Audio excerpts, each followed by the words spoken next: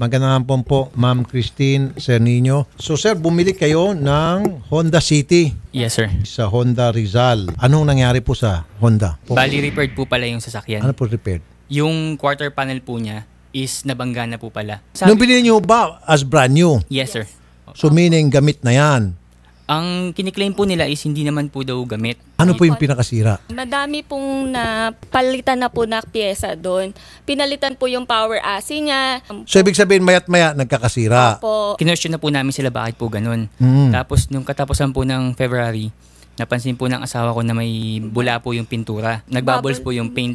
Didala po namin sa Honda Cavite. Tanong po namin bakit siya bumubula yung pintura. Ano sabi po? Ayun, sagot naman po daw ng warranty. Sinabi po sa asawa ko na hindi pa po nila masisimulan kasi kailangan pa nilang i-confirm sa Honda Philippines dahil po may nakita silang repair dun sa sasakyan. Suspicious ano po daw, ah, repair. Eh na- pag repaired nga po, ibig sabihin second hand yung sasakyan. Ayun nga, ibig sabihin sir. ginagamit na dati o may gumamit na. Ang Ay. sabi po nila is nabangga po daw Hindi nung po nila- dineliver dun sa Oh. kasa nila. Sinabi ba nila na ito po ay nabangga? No, Pero sir. pina, wag ho kayo mag-alala, pina-repair na po namin yung nabangga na portion na yan. Ayan nga po yan. Bibili nyo pa ba o hindi? Dapat sinasabi yan sa dis- full disclosure. Wala hong ganon. Wala, po. sir. Eh, merong kasalanan ng Honda. Actually, sir, ang sabi pa ng agent namin is 2017 model yun. Napag-alaman na rin lang po namin na 2016 pala yung nirelease sa amin. Pero anong pinaka-model ho yung, yung binili nyo? Ang Bali pagkakalam nyo? 2017 po Honda ang alam po. namin. After po two weeks, wala pa rin po silang sagot.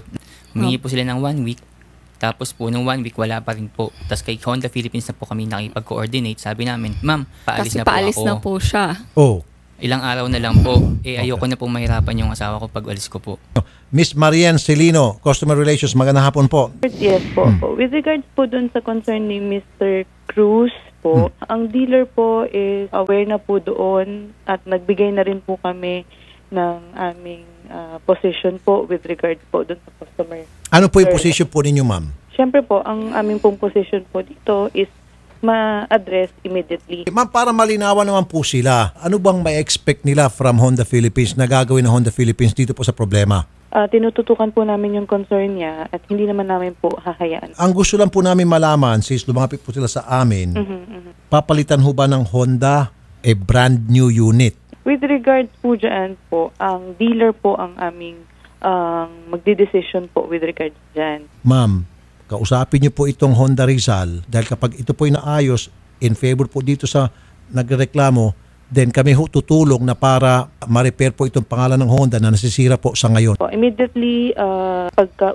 tapos po nating mag-usap, we will immediately coordinate po with the Okay. Magandang hapon sa inyong lahat. Sa side ng ating mga complainant kahapon, magandang hapon. Sa side naman ng mga taga Honda Rizal, magandang hapon po. Good afternoon. Good afternoon. Um, on behalf of the management of Honda Rizal, gusto ho namin sanang iklaro yung regarding po sa concern ni Mr. and Mrs. Nino Cruz regarding po dun sa brand new vehicle na binili nila last uh, August of 2016. Yes, ma'am. Nag-release po kami ng unit, brand new unit sa kanila na hindi brand new. Ang totoo pong nangyari kasi, ah, yung unit po ah, na dinala sa Honda Dasmariñas is nakita po nila na nagkaroon nga po ng bubble sa tabak.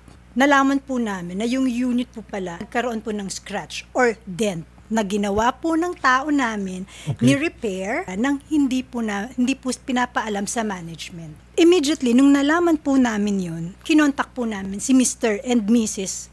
Cruz at ipaniliwanag po namin sa kanila kung ano po yung totoong nangyari. Wala hong may gusto dun sa nangyari. Wala nga may kagustuhan nun.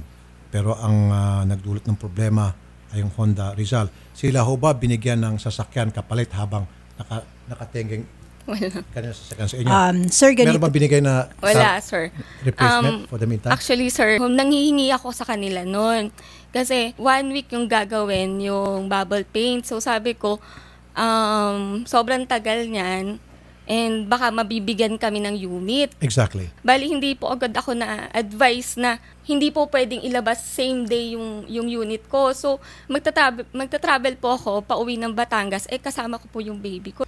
dapat ho, ang gawing patakaran, I, I think, hindi lang po dapat sa Honda, lahat ng sasakyan, kapag may problema ay nanggaling po sa dealer, magbibigay yung dealer ng sasakyan na magagamit noong pong bumili. Gusto niyo pong pabanguhin yung Honda Rizal?